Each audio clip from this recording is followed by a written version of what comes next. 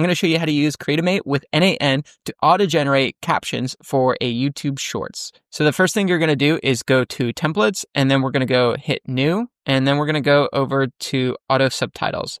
So I just like the look of this red one. So this is the one we're going to go with. This is a shorts. So we're going to go 9 over 16. We're going to create template. So the first thing we're going to do is they have this outro. We do not need that. So we're just going to delete that. So now we're just working with the titles and then the video. Normally in the video, you'll just want to make sure it has dynamic checked. So the subtitles will automatically be transcripted from the video. And as you can see, the video will be this video right here. We also want to make sure it's dynamic, but this is with the template, so automatically.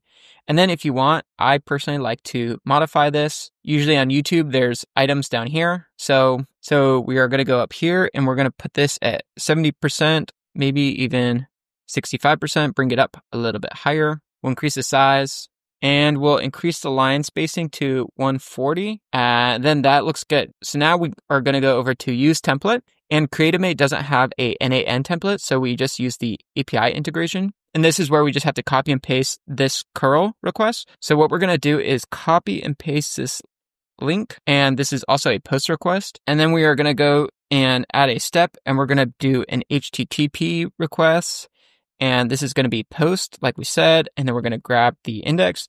Now we're just going to copy and paste all this right here. So we have the content type, and this is the header flag, the dash H.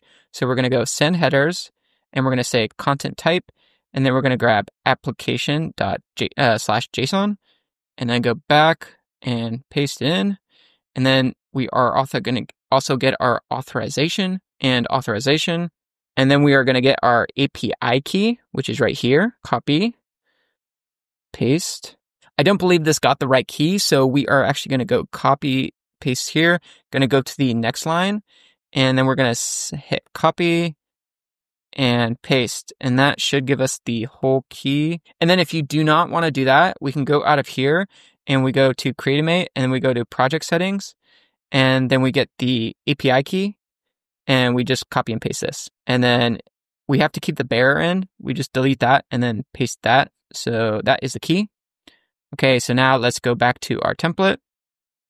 Use template. And then the next thing we're going to do is the body. So we're just going to copy and paste here, not get the quotations.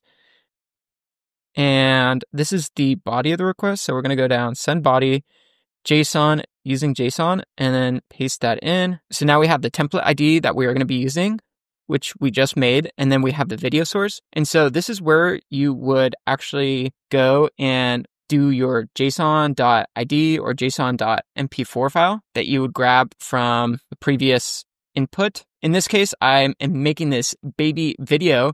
And so what I'm going to do is just grab this link right here.